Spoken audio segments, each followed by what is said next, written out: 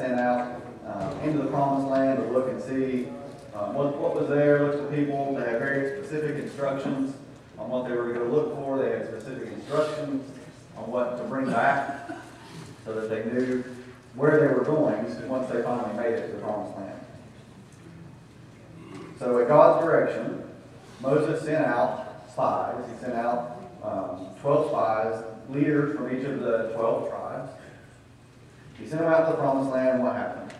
Was their mission successful? Did they do what they were sent out to do? Yes, they spent about 40 days, um, went into the promised land. They saw all the different peoples that they would be up against. Uh, the cities were fortified. But just as God had promised, the land was flowing with milk and honey, is the word that they used. Um, the soil was rich. There was, uh, it was just a land that you would want to live in. So the end of the chapter, what did they end with at the very end of the chapter? All it was all good, everything was really good, but what was the negative side? What was the downside? Big people and we're small, so they said, right? We can't do this. We can't overtake these men. Um, it'll never happen. We're never going to make it. So that's what we're, we're looking at leading into the lesson today. Um, the passage in the book has us starting, I think, in verse 11 of Numbers 14, but I want to go ahead and start at the beginning of the chapter. So after bad reports, we start off in number 14, That night, all of the people of the community raised their voices and wept aloud. All the Israelites grumbled against Moses and Aaron. And the whole assembly said to them, If only we, died, we had died in Egypt or in this desert. Why is the Lord bringing us to this land only to let us fall by the sword? Our wives and children will be taken as plunder.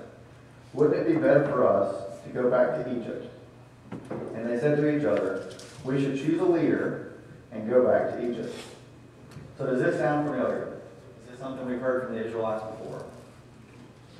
Yeah, we just did a lesson a few weeks ago um, on the manna coming from heaven. So they were out in the desert looking for food. God rain, rains down manna from heaven. Miraculous food falls from the sky. And they start complaining about all the food that they had to eat in Egypt. And now all they have is this manna, this bread. Um, so they just say, oh, it would be so much better if we just had stayed in Egypt. So they hit a hard time and they forget about all the hard times that they had back in Egypt. Uh, and they want to go back to that. All they can think about is uh, what they had back there and what they're headed to. They can't look to the future. So reading on verses 5 through 10. Then Moses and Aaron fell face down in front of the whole Israelite assembly gathered there. Joshua, son of Nun, and Caleb, son of Jephunneh, who were among those who had explored the land, tore their clothes and said to the entire assembly, The land we passed through is explored and explored is exceedingly good. If the Lord is pleased with us, he will lead us into that land, a land flowing with milk and honey, and will give it to us.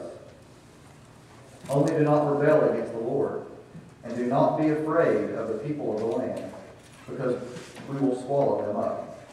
Their protection is gone, but the Lord is with us. Do not be afraid of them. But the whole assembly talked about stoning them. And then the glory of the Lord appeared at the tent of the meeting to all the Israelites. So at this point, Moses and Aaron can't believe what they're hearing. The beginning of this part um, says they fall to their face, uh, probably in disbelief and frustration with these people that they've led out of Egypt um, with the help of God, with all the miracles that have happened so far, all the ups and downs like we talked about. Um, Moses and Aaron can't believe what, what's happening. But there are two men that we actually talked about last week as well. Two men stood up and addressed the Israelites, um, reminding them how great the land is that they explore, reminding them of all the good things that are to come. reminding them of the powerful God that led them out of Egypt, that is the same powerful God that can lead them into this promised land and defeat uh, any of the armies that they will come up against. But what is the response from the people? What do they to do? They want to stone them. Why do they want to stone them?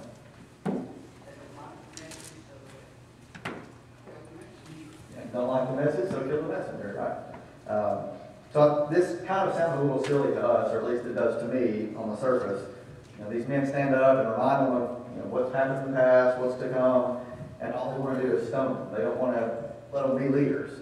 Um, so I think it's funny that they said we should choose a leader and go back to Egypt, and here two leaders stand up and say, "We are your leaders. Listen, we're going toward the promised land. We're trying to lead you where you're supposed to go." Um, but people don't don't uh, listen. I think we often have that problem today as Christians. This is kind of my first parallel that I want us to look at um, and take from this story. I think a lot of things, a lot of times we can get caught up in sin. Um, we have our mind made up that we're going to do something, whatever that something is, no matter what. And then if somebody comes along and tries to point out that maybe that's not what's best for us to do as a Christian, um, we immediately throw a label on them, or we say negative things about them. Oh, they're just a goody two shoes, or um, you know, they think they're holier than thou. All, all kinds of things that we say when we're just determined to be in sin. We're determined to do something that we know we shouldn't do.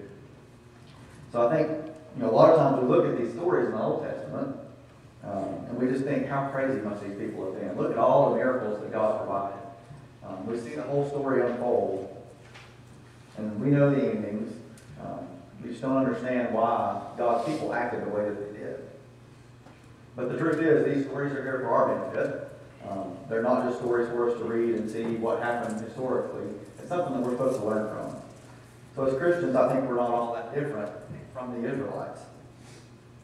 Um, you know, we don't, we just don't have our stories documented in a book like the Israelites did. If we could document our lives up until now, up until this point in our lives, we probably look just as stubborn and just as spoiled as the Israelites did. There are all kinds of things that I know I've done throughout my life um, and rebelled against God or and not done what I should have done. That I would have looked just as dumb as they are. So if we make the same mistakes, not trusting God, putting other things before God, you know, they built an idol. We don't build idols anymore. There are all kinds of things that we do to put things before God. Um, and then also thinking we know what's best for our lives better than God does. So the lesson we can draw from this part of the passage is uh, to be open to a brother or sister in Christ, correcting them when they're when you see that they're caught in sin. And on the flip side, um, we need to be open to somebody correcting us, I'm sorry. And on the flip side, we need to be that person also to correct our brother and sister uh, if they're caught in sin. So I want to flip over real quick to the New Testament, look at Galatians chapter 6.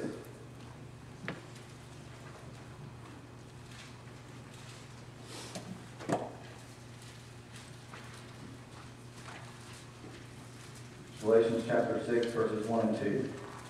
Brothers, if someone is caught in a sin, you who are spiritual should restore him gently. But watch yourself, or you may also be tempted. Carry each other's burdens, and in this way you will fulfill the law of Christ.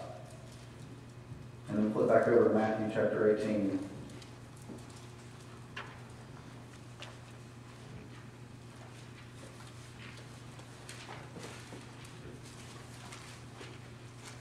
Matthew chapter 18, verse 15.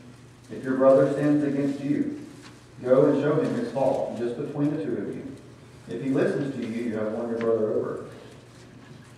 So both, both of these verses are talking about correcting your brother or sister in Christ. Um, I think this is often one of those subjects to where we kind of, there's a thin line to be crossed between um, pointing out fault to your brother or sister in Christ and judging your brother or sister in Christ. Uh, there's also a fine line there between brothers and sisters in Christ and people who are not Christians uh, that we have to be careful on. But as we saw here with Caleb and with Joshua, don't be afraid to point out sin um, to those that are closest around you. Don't be afraid just because they're close that they're going to get mad at you. Um, that's what they did here with Caleb and Joshua. We know that it ended up being good for Caleb and Joshua. We see how that turned out for them. Um, so as we see in Galatians and Matthew, be gentle about it, be cautious, but don't be afraid to point out sin to your brothers and sisters in Christ. Any thoughts on that before we move on? I was gonna say, the big takeaway I get from that is the fact about leadership and where they were supposed to be going, it was supposed to be dependent upon faith in God. The leaders were supposed to be taken there, they had the opportunity to follow. And a lot of times, and I know in my life, I've seen that happen time and time again in churches and stuff where fear has held people, the church back in places because they're afraid to, to that faith and trust out there. When I was a kid, one of the churches we attended was packed to the and growing, but it stopped because they needed, and they needed to move and build a building.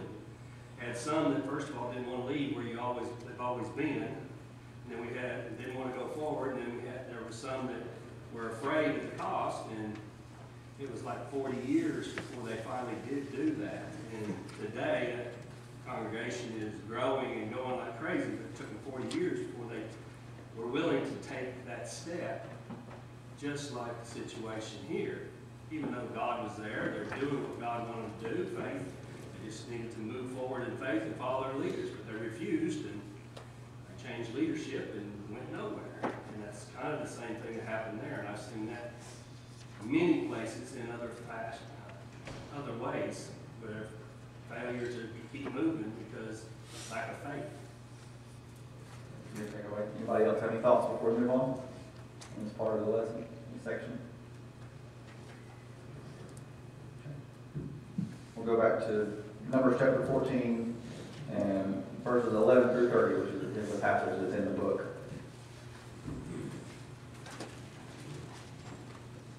The Lord said to Moses, How long will these people treat me with contempt? How long will they refuse to believe in me, in spite of all the miraculous signs I have performed among them? I will strike them down with a plague and destroy them. But I will make you into a nation greater and stronger than they. Moses said to the Lord, Then the Egyptians will hear about it. By your power you brought up these people from among them. And they will tell the inhabitants of this land about it. They have already heard that you, O Lord, are with these people, and that you, O Lord, have been, have been seen face to face, and that your cloud stays over them, and that you go before them in a pillar of cloud by, by day and a pillar of fire by night. If you put these people to death all at one time, the nations who have heard about this report, have heard this report about you will say, The Lord was not able to bring these people into the land he promised them on oath, so he slaughtered them in the desert. Now may the Lord's strength be displayed, just as you, just as you have declared. The Lord is slow to anger, abounding in love, and forgiving sin and rebellion. Yet he does not leave the guilty unpunished. He punishes the children for the sins of their fathers to the third and fourth generation.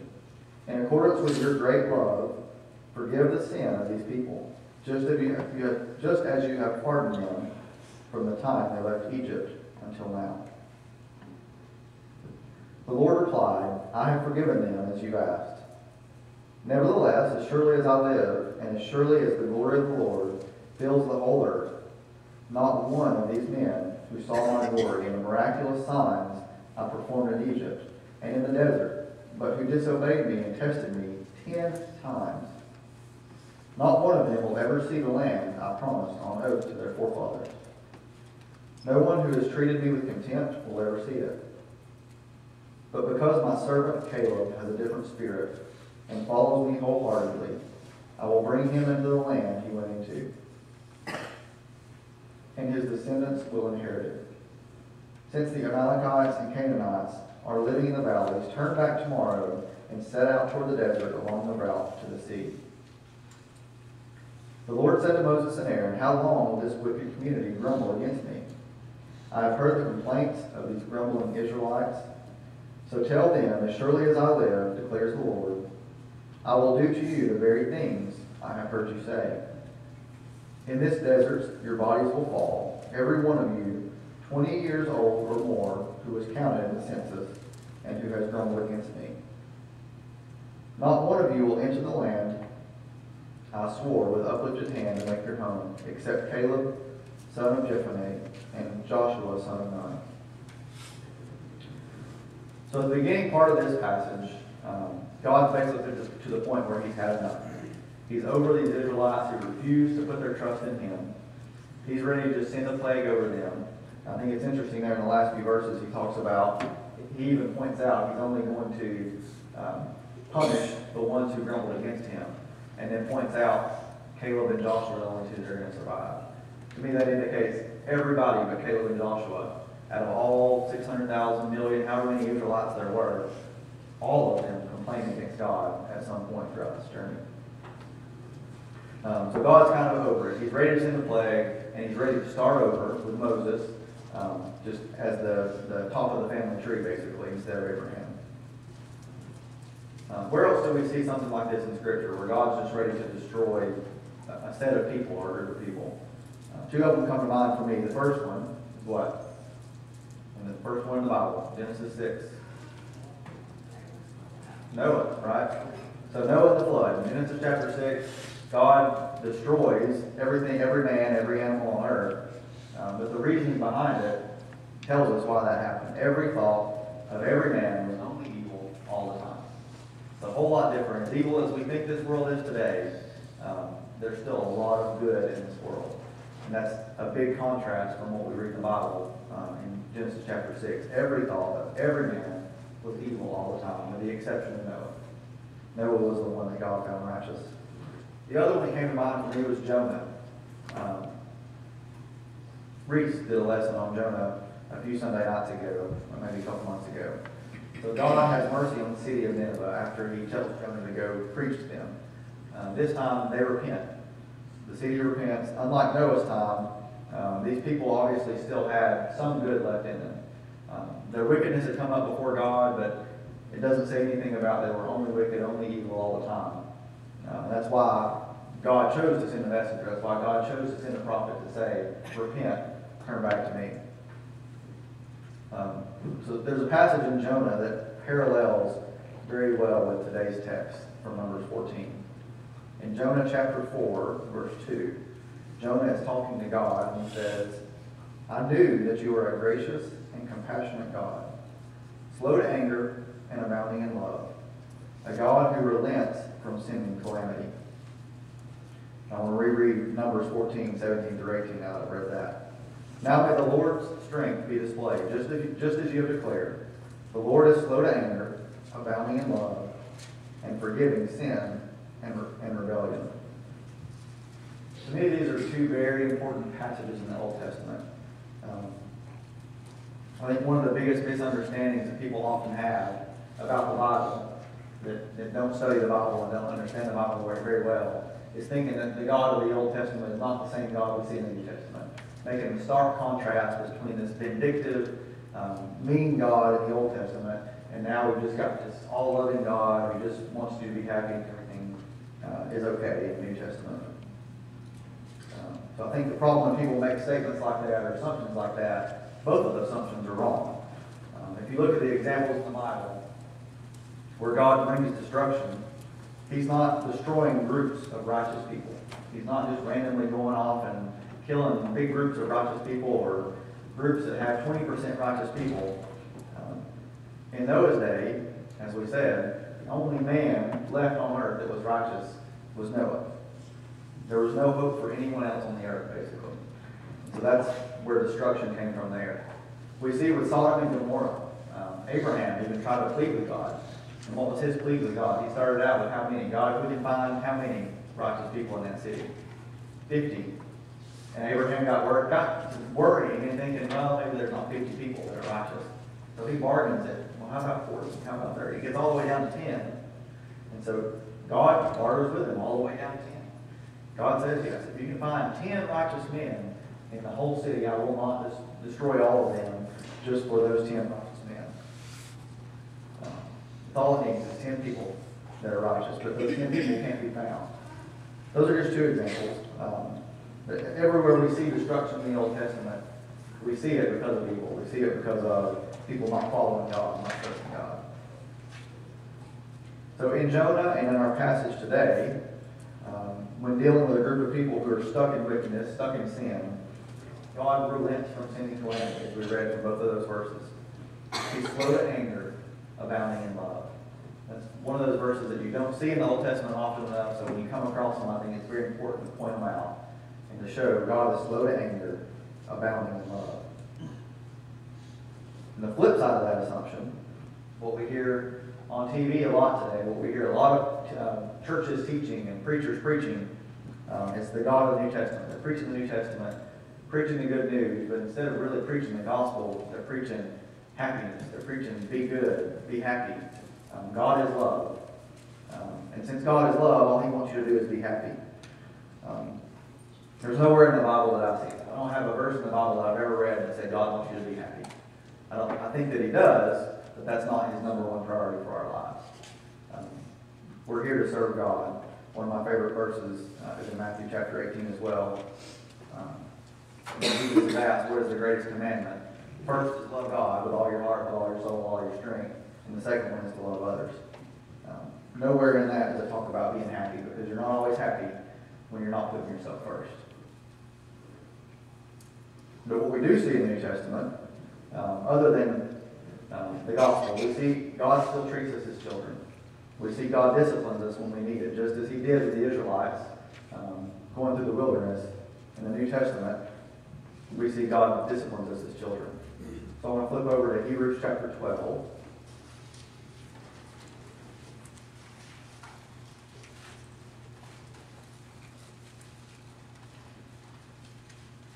Hebrews chapter 12, verses 4 through 13.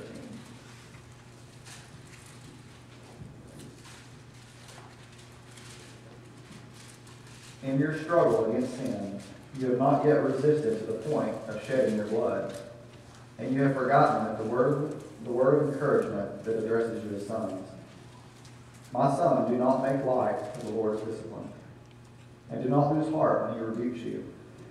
Because the Lord disciplines those he loves, and he punishes everyone he accepts as a son. Endure hardship as discipline. God is treating you as sons. For what son is not disciplined by his father?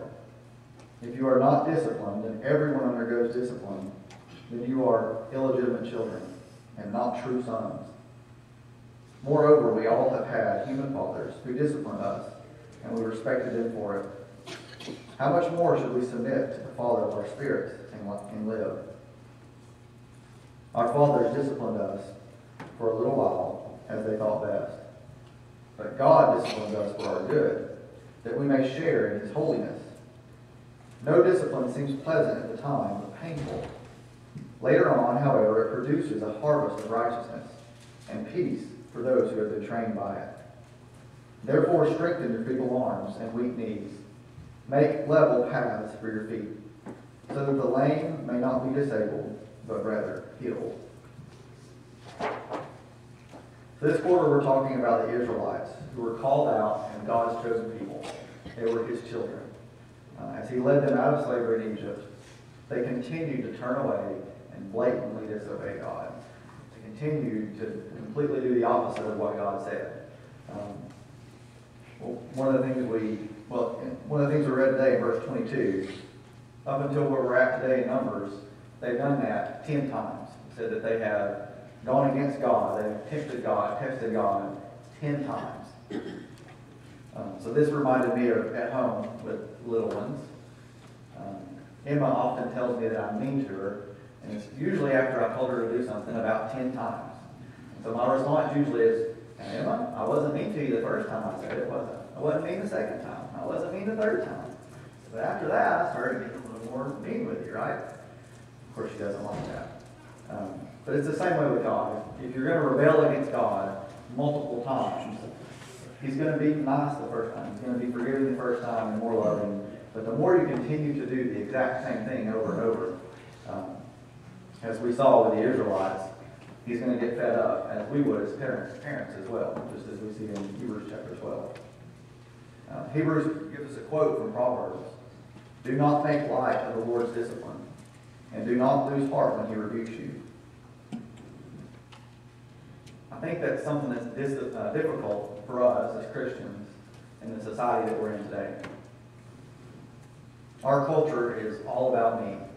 Freedom that we talked about a couple hundred years ago, that our forefathers fought for. Freedom's been warped into something uh, that is way more than what they fought for back then. If you don't like what, if I don't like what you're doing, I'm just gonna go be a lawyer and I'm gonna sue you and I'm gonna be happy no matter what you are. That's kind of what we think of as freedom today. So American, as Americans, we become stubborn. Um, we don't really like anybody telling us what to do. And so this is a thing that I think is hard for us as Christians. The way that our culture is, the way everybody else around us lives, is I don't want to be told what to do. You don't tell me what to do, and I won't tell you what to do. Now, this is something that I see at work all the time. Uh, most of our problems in the workplace are centered around people just not wanting to follow the rules or not do what they're told. As Christians, though, we're called to be set apart from the world. We're called to be different. Um, God gives us this Bible for a reason. He expects us to obey His Word. Uh, he expects us to do what He's told us for our own good, not just because He wants to.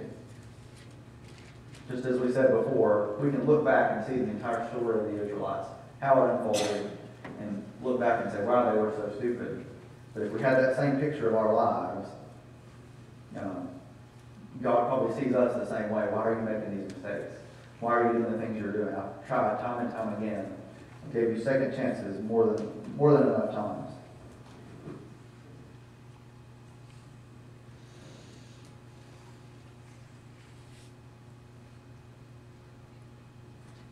So, with that, we're human. We don't always do what we're supposed to.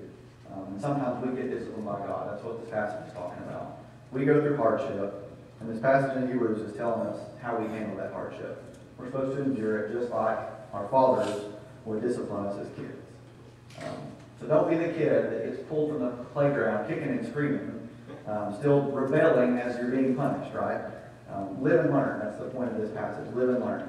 God disciplines us as children so that in the end, um, verse 11 there, no discipline seems, ple- seems pleasant at the time, but painful. Later on, it produces a harvest of righteousness and peace for those who have been trained by it. Um, At work, I've been in and around project management for several years. One of the best tools that you can use in project management that's probably one of the least tools used is called lessons learned. I don't know if you've heard of lessons learned as a project management tool. But basically what it is, is after a project is over, or after a section of a project, you get the whole team together, you talk about what went well in the project, what went wrong. So the next time you have a project like this, you can open up your lessons learned from the previous project.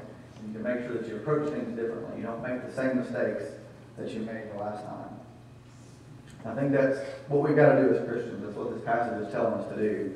Um, if we don't stop and take time to think about our mistakes, um, if we don't think about what's led up to our mistakes, what we could have done to prevent them, if we don't do those things, then we're setting ourselves up to fail over and over again, just like the Israelites did uh, after they were delivered from Egypt. That's what I've got for the lesson today. Does anybody have any more thoughts on Numbers chapter 14? Anything you want to add?